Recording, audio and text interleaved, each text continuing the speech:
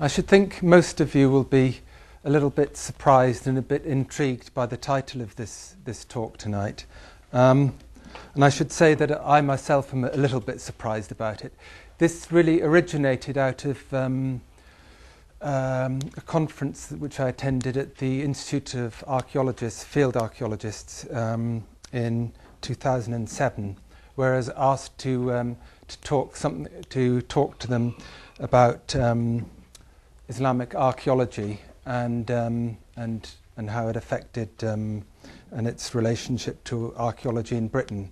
Um, and I thought rather than simply talking about Islamic archaeology, the archaeology of Islamic society within the Muslim world, it'd be interesting to see if it was possible to talk about archaeology actually within Britain, material remains within Britain. Um, and at this point, I suppose it's worth, worth sort of thinking a little bit, because not, there are some archaeologists here, but um, I think most people aren't, just saying a little bit about what archaeology is.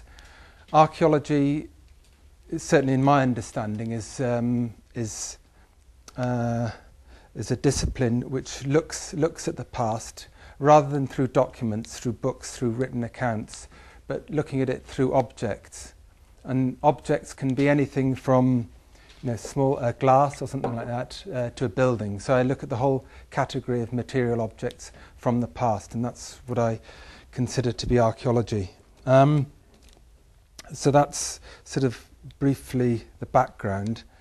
Now, um, why, why did I decide to talk about this? I suppose because I think the relationship between Britain and the Islamic world, and by extension Europe and the Islamic world, is something which is contentious and also quite complex. And I think all too often people try to um, simplify this and make it into something about opposites, about two different sides, two, two different world views, and as if there's, there isn't any contact or as if it's a very simple matter.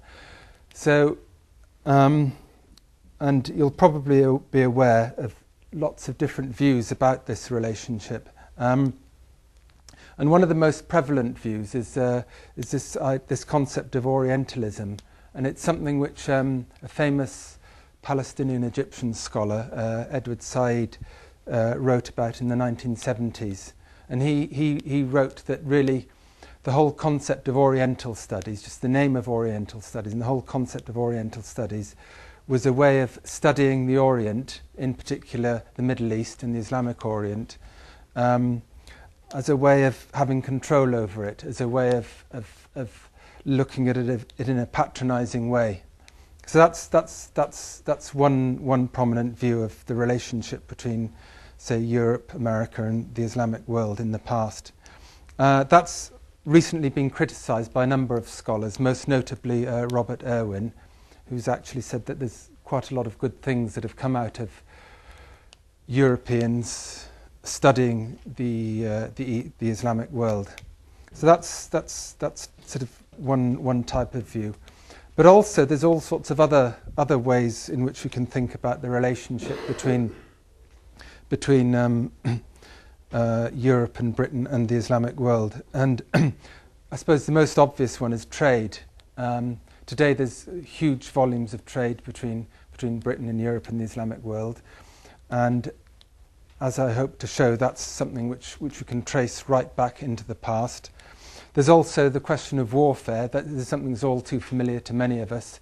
Um, and this, most people connect that with, I suppose, the Crusades and, and what's happening in, in, in, in the present day.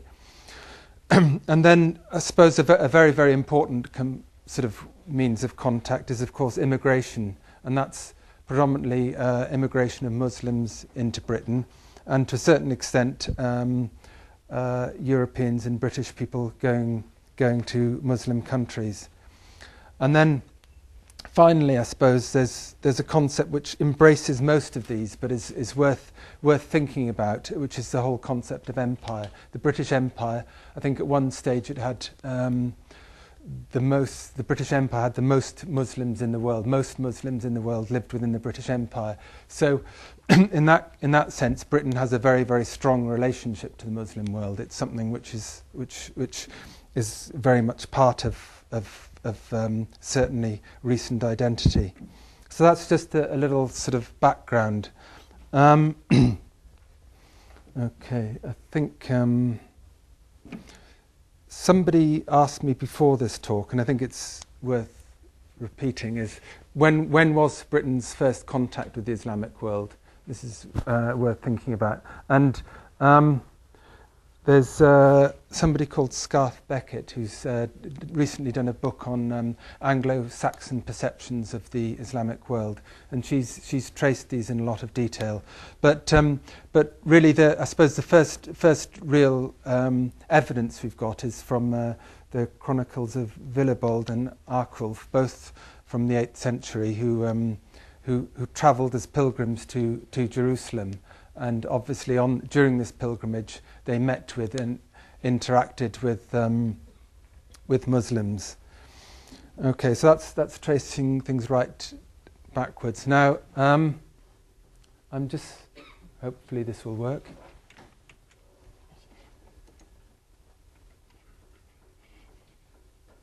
Yeah. Okay. Right. Good. So. Um, just to just to help you think a little bit about about these relations. Um, uh, this is a this is a pa- this is a painting made in uh, 1740, and it's a painting of um, William Levett and Mamselle Galvani. In other words, two Europeans, um, and not what you typically associate with uh, with this type of clothing in this type of setting. Now. William Levett was the uh, chief, representative of the Levant Company in Constantinople, in what is modern day Turkey. And the Levant Company was a company which was established in, um, in 1581 uh, by Queen Elizabeth. And it was uh, a, a, company that was uh, established with the, uh, to promote trade between, between, um, between England and the Levant. And I'll say a little bit more about that later and it was a treaty between Elizabeth I and Murad. So that's one sort of idea of um, relations between Muslims and, uh, in that case, specifically English. Um, this, this, I've put this, this picture on to show you another, another way, another one of those ways which I talked about, uh, the way people see the relationship between, uh, in this case, Europe and, uh, and, and the Islamic world. And this is, a, this is a, from Santiago de Compostela in Spain. And it's a, a picture of St. James, who is characterized certainly within this, within this sculpture as the Moor Slayer. Um, and the legend behind this is that um, St. James, that's St. James from the Bible, appeared to Christian troops fighting uh, a Muslim army at the Battle of Clavijo in 844. Um, and so this, this obviously shows a very negative aspect of this relationship between, um, between Europeans and Islam, and you can see all these people being chopped up. It's not very nice. And interestingly, uh, fairly recently, I think there were moves to have this, uh, this statue either covered up or, or, or not shown because it seemed to be uh, provocative. Okay, next one. Again, staying in Spain. Uh, again, we're moving into um, this is a, a, a, a, casket, the Burgos casket. It's n- one of a number of caskets, similar, similar boxes made of, made of wood and inlaid with ivory panels.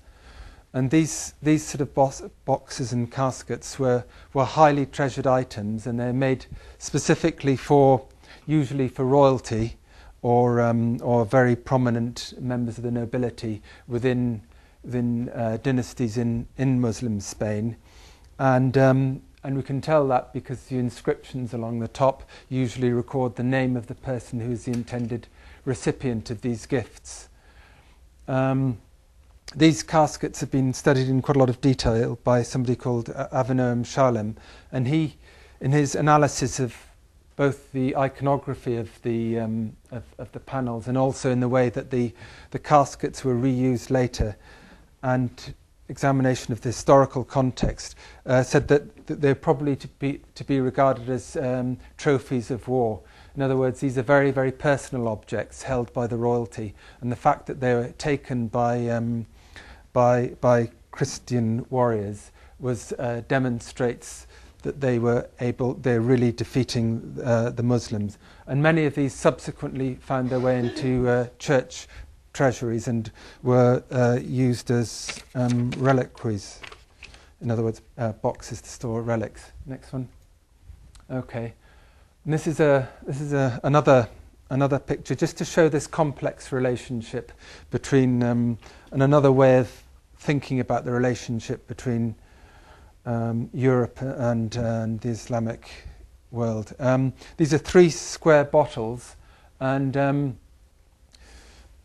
um originally they were thought to have been um, made in Europe and uh, just painted with, uh, with Indian uh, themes. It now looks, having, having been analysed um, by Stefan Carboni, it looks like these were actually uh, made in India by a glassmaker called Ram Singh Malam, who, was, who actually travelled to the ne- Netherlands, to Holland, where he's trained as a glassmaker. This is in the uh, late 18th century. Trained as a glassmaker, in the latest techniques. And then he came back to India and he opened a glass factory in a place called uh, Bhuj. So he's using European techniques and then and interestingly, these, these, these glasses were then re these bottles were then re were exported to Europe for the first time. But again, it shows that this, this relationship is, is quite complex. It's quite hard to say what these really are. Um, you know, but it's a very complex uh, relationship. Okay, so that's just a little introduction to show the, the types of ways that um, that we can think about the relationship between the Islamic world and, uh, and Europe. And now I'd like to move more specifically to Britain. And next picture, and we'll start with Kew Gardens. Um, this is a drawing of, of, of a mosque uh, uh, built at Kew Gardens in 1761. This is one of uh, three buildings built at Kew Gardens. There was also a, a, Chinese pagoda, which I think still exists, and also a representation of the Alhambra Palace. And these were, were, were, um, were all built at uh, Kew Gardens. And um, I suppose they, they represent an interest in, in, in the East and the Far East with the pagoda and show a, a physical representation of these things, not just paintings, but a physical representation. Um, this mosque, uh, from the evidence and from the plans, doesn't seem to have been an actual functioning mosque. It had no mihrab, and we have no evidence of it ever having been used as a mosque. So it's purely there to convey to people the idea of what a mosque uh, looked like. Um, it's also worth remembering or remind, uh, uh, saying that also um, round about the same time at uh, Painshill Park in Surrey, um, a Turkish tent was built, and this tent was uh, uh, built to resemble uh, imperial Turkish tents. It had made of canvas and embroidered with it had tapestries inside and carpets. And again, it shows something of the age. This idea of um, of, of recreating um, re- recreating um, the Turkish, in this case, the Turkish East. And I suppose really it's it's sort of this is the start of this is the start of this whole idea of this this concept of Orientalism, this idea of of perhaps an interest in the Orient, an interest perhaps for decorative reasons, perhaps for um, ideas of having power over another culture, perhaps perhaps simply for educational reasons. Um, the most famous example of um, of this, I suppose, is the Royal Pavilion at Brighton. This is, a, again, it's a complex building um, built over, over more than 30 years. Um, and I suppose this, this is a good way of expressing what's, um, s- some of the more extreme aspects of Orientalism in that the exterior of the building is, is, is built in, I suppose, an Indian Mughal style, whereas the interior is, uh, is built on a, on a Chinese theme. Again, this is this mishmash, which just shows a gen, general, general interest in the Orient, but not really very precise. And um, um, yeah, and so also uh, from the 18th century, if we have the next building, this is uh, Sezincote House in Gloucestershire. Um, this was built uh, by uh, three brothers, the Cockerell brothers, uh, one of whom had recently returned from India, and he got his brother, who is a trained architect, to design a building which would remind him of, in, of India, built in the, what they called the Hindu style, Mughal, which would really mean Indian style, Mughal style. And uh, his brother had actually never been to India, but he used, um, he used books that were available at the time to create this, this uh, Mughal looking building. And then, uh, the next, please. Okay. Um, and then, I suppose one of the most famous examples of, of, of Islamic type architecture of, from Britain, built in the Islamic style, I suppose, is, uh, is Leighton House in, um, in Holland Park in London. And this was uh, built by Lord Leighton uh, to the Arab Hall here was built to contain his coll- collection of over a thousand tiles, which he'd collected mostly from uh, Damascus in Syria. So here you have a specific relationship between building a, an Oriental Islamic style building and actually archaeology, which is which is drawn or kind of old old tiles brought out antiquities brought out from um, from Syria. Uh, next, please. I thought I'd better put this one in. This is the This is the Arab room at Cardiff Castle, uh, William Burges. Um, I suppose the um, the interesting thing about this is that um, it's considered to be uh, one of William Burges's best works. And um, he himself had travelled to Sicily and Constantinople, and this is where he got his ideas of Islamic architecture from. And um, he is also one of the people who believed in um, that, that much uh, medieval architecture was derived ultimately from, from Islamic architecture to do with the, the, the pointed arches. And he thought that really that uh, in the Middle Ages, Islamic art architecture was in, in advance of Europe, and that a lot, a lot of lot was learnt learnt from um, from the Middle East. And this is his, I suppose, this is his, his physical physical expression of that, showing this this particular type of sort of muqarnas uh, vaulting used in the in the Arab hall, in the Arab room. Um, this was this just just this was a drawing room for women, just uh, just in terms of its function. Okay. So I suppose what all these buildings have in common is none of them were had they're, they're, they're Islamic in style, but they had no Islamic use. They were used for other things. In a sense, they're purely decorative. They may have been used to send out certain messages, but but really they weren't really they certainly probably weren't used for um, for Muslims. Now next.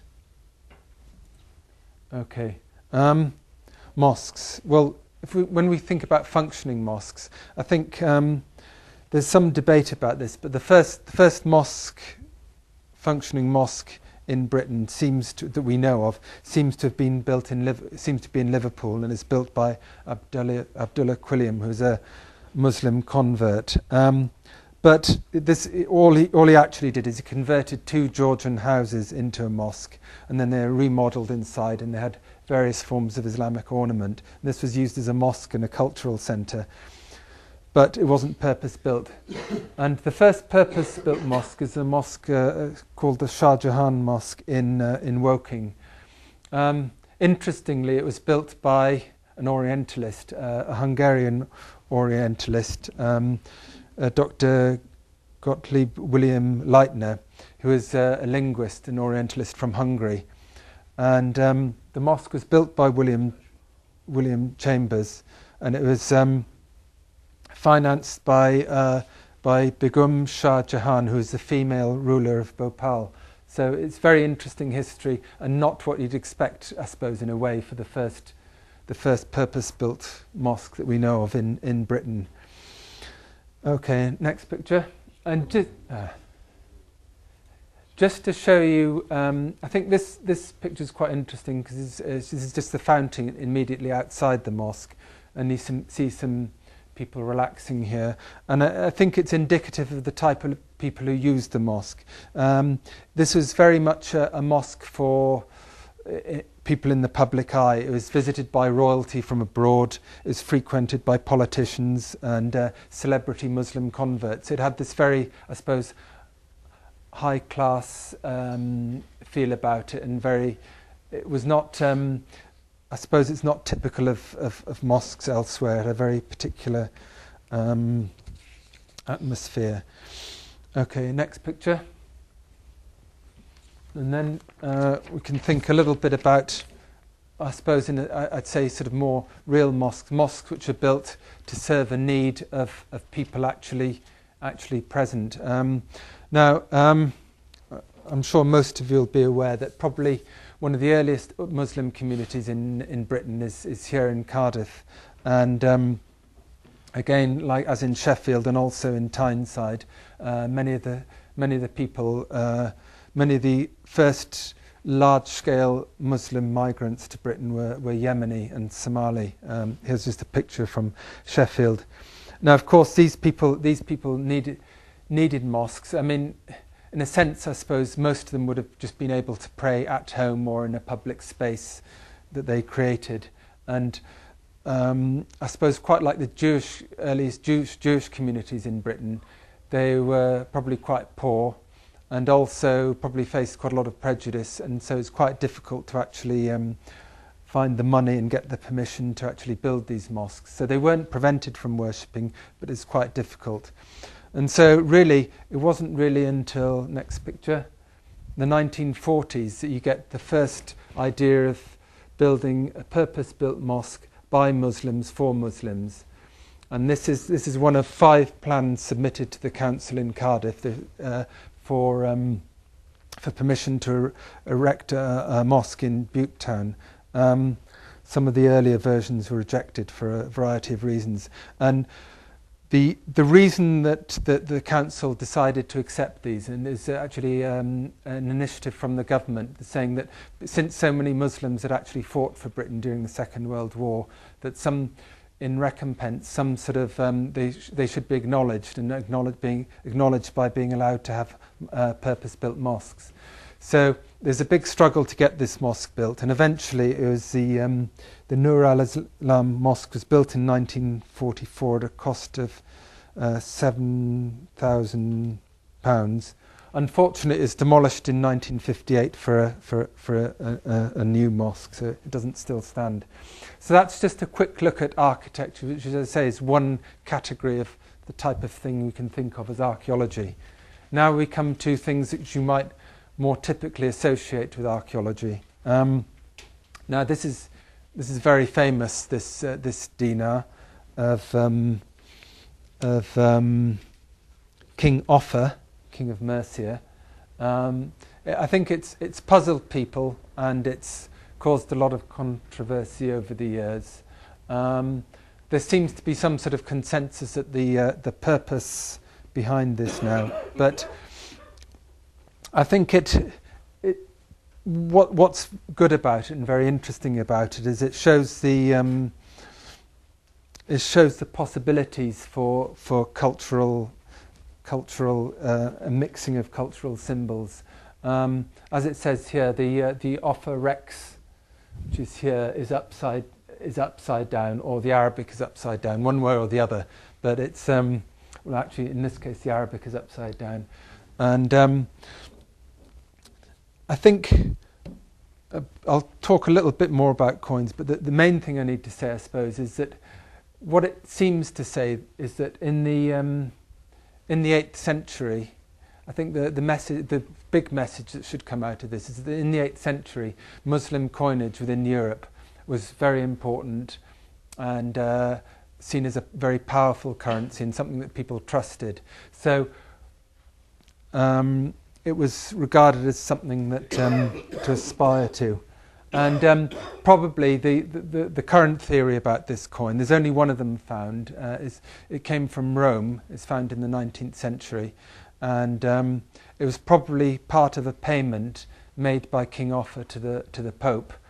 And um, for some reason, he, he found, felt the, the reason to make a, a dinar, uh, an Arabic coin, make his coinage in the form of an Arab coin because that would make it trusted as payment, which is interesting because he's actually paying the Pope, which is um, a very interesting idea. So we'll say a little bit more about coins now. The next picture. Now, um, coinage in, in Britain. I suppose the interesting thing about the coinage is um, there's, there's two ways that Muslim coinage got into Britain in the I suppose, before the 1100s. Uh, and interestingly enough, almost simultaneously when I started doing this research, somebody called uh, Rory Naismith also has done some uh, more detailed research on Islamic coinage in Britain before 1100, and with, with broadly similar results. Um, so this is just an example of where coins have been found within within Britain. Um, we, do, we don't really need to go into the details of all of these, except to say that I suppose there's there's a big difference between gold coinage, which tends to come from uh, from Spain or the Mediterranean, and silver coinage, which seems to come from uh, uh, much further east, sometimes as far as Afghanistan. Um, now, the uh, the silver coinage is is probably almost is found mostly in the eastern part of Britain and is, uh, I think, Croydon's the furthest west. And uh, it seems to be associated with uh, Scandinavian coin hoards. And just to say, we've from Britain in total before 1100, we've got 173 Islamic coins that have been found. Whereas in Sweden, in Scandinavia, it's a very different story. In, in Sweden, for example, two, up to 2005, that's not including recent very big finds, up to 2005, 180,000 uh, Islamic coins have been found uh, buried, and these are all from 9th, 10th century in Sweden. And in fact, over 20,000 coins have been found on the island of Gotland alone, so talking about big quantities. And what we get in Britain seems to be actually an overflow from that. It's, it's silver coinage which is coming over from Scandinavia.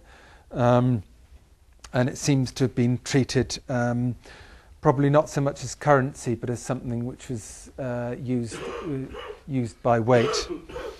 Um, okay. Um, okay. Uh, so, um, next picture. Okay. Glass. Um, it's always amazing in archaeology if you have glass surviving. I mean, it is incredibly amazing. This has survived mostly because it seems to have been in the same hands for a very long time, probably since the uh, 1200s. Um, and this is a, we can see it's a, it's a, it's, it's a beaker, uh, Islamic beaker, and it's probably, um, was probably brought, brought back uh, from Syria as um, as a, as a trophy or as even as a souvenir uh, from, from the Crusades. It's, it, it's, it's very rare and quite important. But within this context, I suppose what's interesting, it also belongs to a, category of uh, glass vessels, which people call um, Syro-Frankish uh, glass.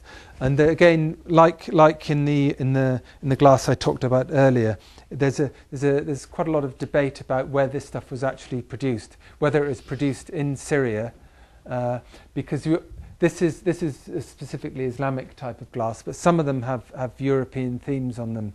And um, there's, there's an idea that there are actually uh, Syrian craftsmen working in Italy producing these, either that or um, Syrians producing specifically for the European market within Syria.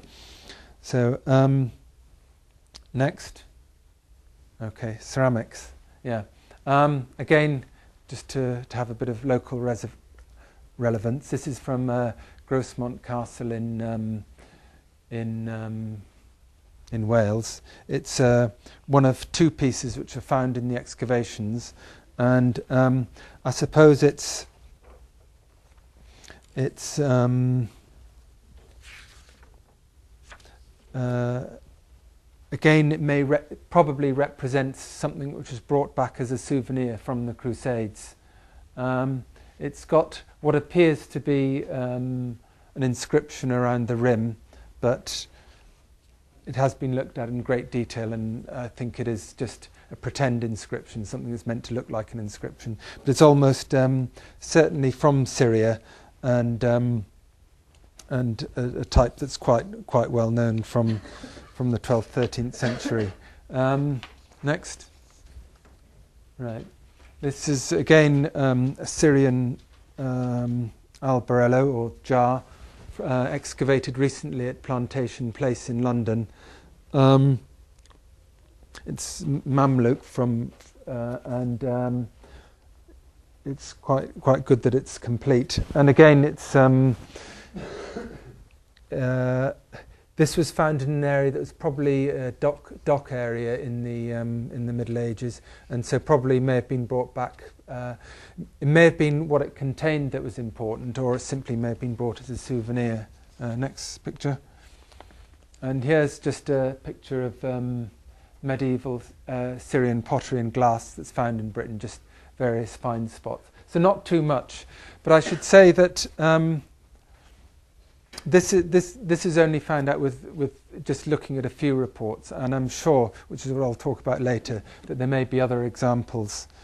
Um, and now we're going to move on to a different type of pottery a bit later, um, mostly, which is the uh, Spanish, Spanish pottery.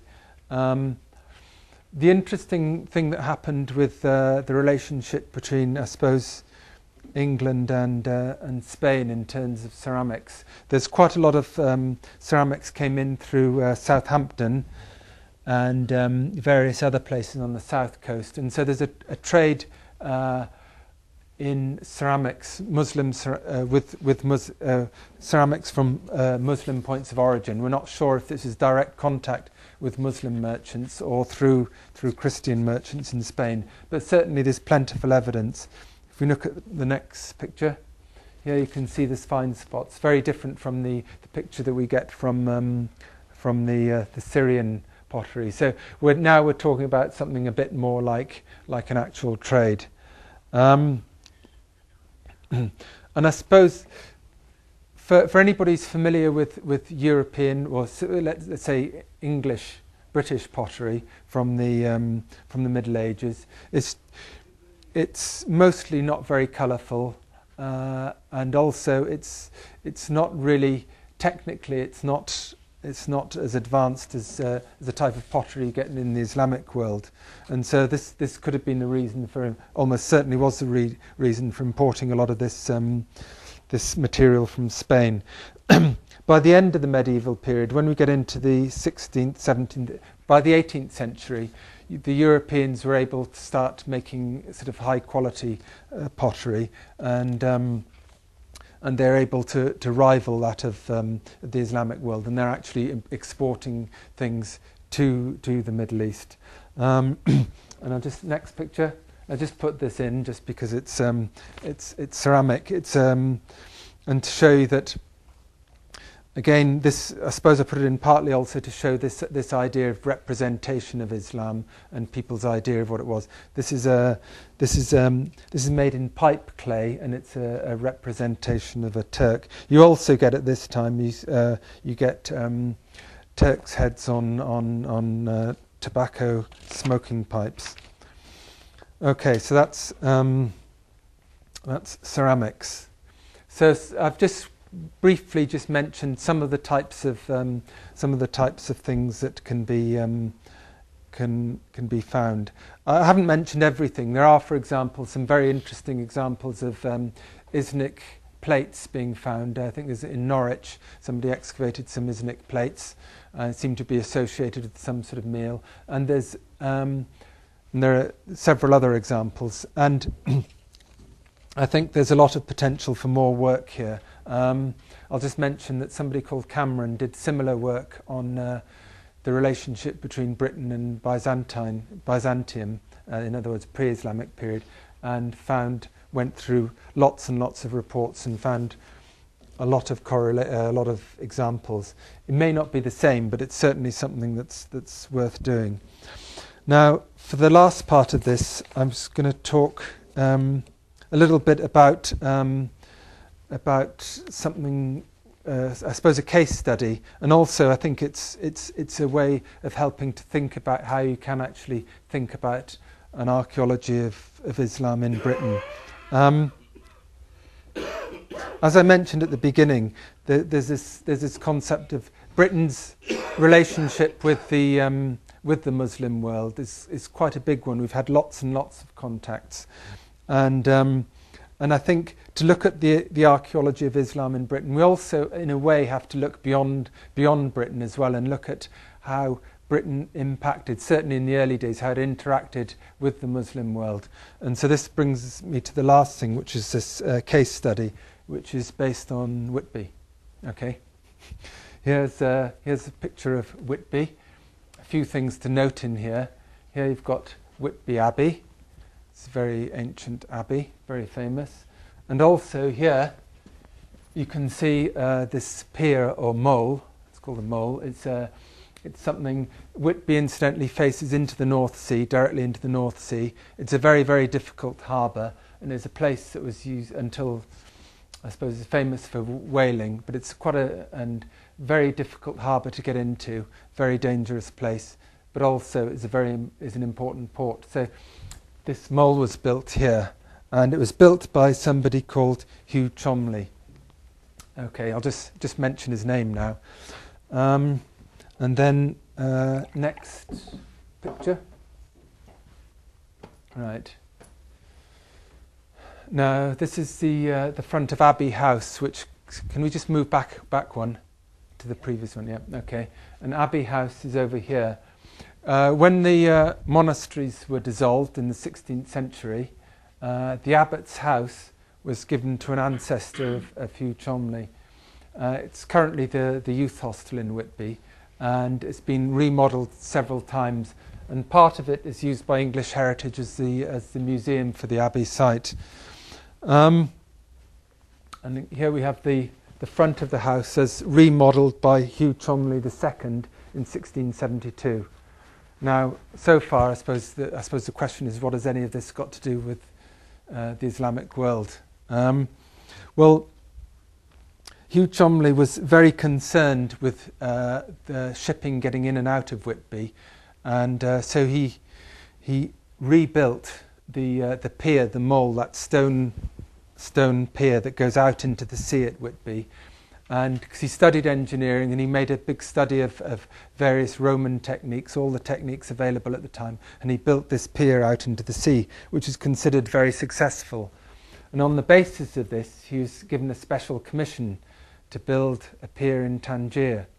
Now, why Tangier? Well, Tangier was one of, in a way, one of Britain's first sort of uh, concrete encounters with the concrete by the fact that with the Muslim world, where we actually had a, a, a colony established within within the the Muslim world, and um, this dates from a period between 1661 and 1684 when Tangier was given as a, a wedding present by the Portuguese. Um, uh, Catherine of Braganza is given as a wedding present to, to the English king.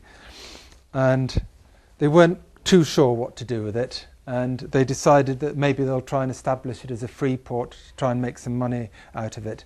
And also, it should be said that it's in a very strategic position. It's uh, Straits of Gibraltar, and so it's potentially it was a, it was a very good place to, to make money from to, as used as a port. But it's got a problem that the port is actually not very good. It's it's it's a, it's into the open sea, it's deep sea, and it's actually very, often very difficult to land ships there. So Hugh Cholmley II was asked to come to Tangier to uh, build this mole, to build a, a, a pier there, and um, he went there between 1663 and 1676. So it's a period of about more than 10 years, 13 years. He's, over all this time, he was building this pier. It was very difficult. They had lots of problems because it's very deep water. And a lot of people said this is too expensive, and they had to bring they had to bring slaves over from America to build it, and all all different things. And in the end, they brought masons from Whitby to um, to Tangier to uh, to build the mole. In the end, the um, the governor got fed up with this, and he said this is too expensive, and he is dismissed. But I think Hugh Cholmley had made quite a lot of money from this, with which he's able to remodel the, the front of the house. So one of these things which I mentioned is I think it would be interesting certainly to look at that first early English presence in Tangier, and there is um, there is this new Whitby which was which was constructed, but also I suppose more tangibly is um, next picture. We have um, this which represents a beam which was found inserted within the uh, Abbey house. This is at the back of that facade. Um, and this was discovered in uh, 2006, next picture, when the, when the building was being remodeled. And you can see this is part of the beam in there. Um, next picture. Now, this beam is, yeah, you can see it's nearly six meters long and it's it's wooden and it's carved with sort of like a rope molding here, and it's got in the centre a picture of a person. I can't see it very well from here, and two I think dogs. It's not a very good picture. Um, next picture, you might see it a bit better. Here's the two dogs, and there's so it's obviously some sort of hunting scene.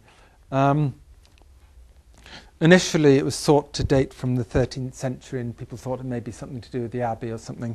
Uh, but recently, there's been this is the, the, the, structural analysis of where this came from has been uh, questioned, and on stylistic grounds, I think it looks more like 17th century, sometime from the, in fact, from Sir Hugh Cholmley's time, and then if we look at the next picture, I think for me this is quite convincing as well. You have palm trees depicted on this on this piece of wood.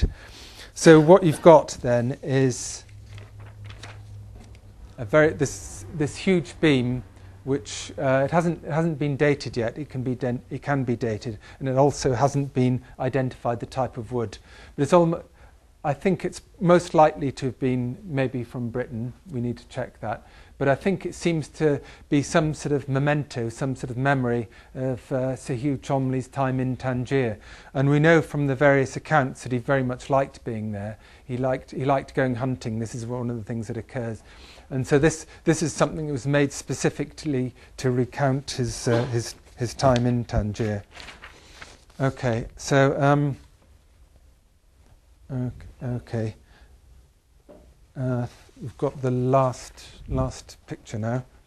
Yeah, um, and just to show you, sort of, I suppose, how much all of this is embedded within British culture. I just showed you this picture of this gun, which again, this also says something a bit about the complex relationship between between Britain and other place, and also the complex history of objects. And I suppose it's saying a little bit about the um, how we can't we can't assume that that these relationships are simple. This is a this is a, a, a gun, a Turkish gun. It's in Horse Guards Parade in London, and um, it dates from the 16th century, uh, from the time of Sultan Suleiman the Magnificent, and it was actually captured in Egypt at the Battle of Abukir Bay, and it was brought back to, to England and remounted as a, as, a, as a trophy of war. So it's got a complex history. It's, it's both Turkish, both Egyptian, both British.